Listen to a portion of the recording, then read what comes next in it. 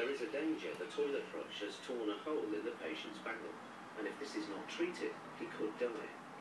Really fast, James. This man, he's had some ear bleeding around it. I can't see how much more of it there is.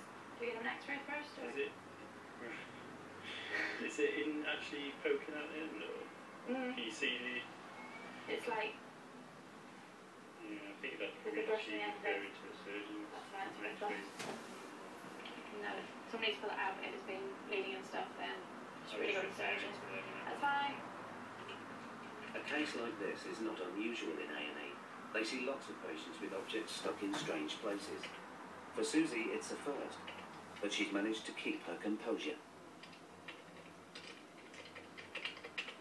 I mean, it's embarrassing for him and he feels bad and it's embarrassing for us having toilet brush in his bottom.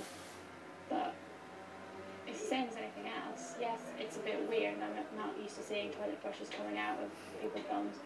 But I'm a professional, this is what I have to do. Just do it in the way that I would deal with anything else.